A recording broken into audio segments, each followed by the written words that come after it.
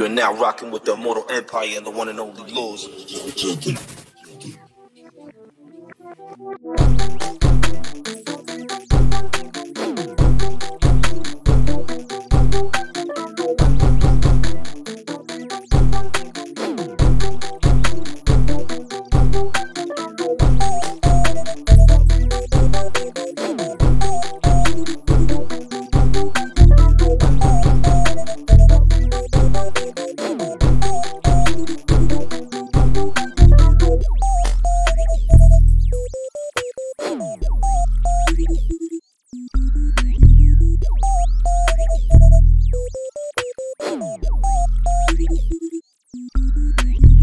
Now rocking with the Mortal Empire and the one and only Laws.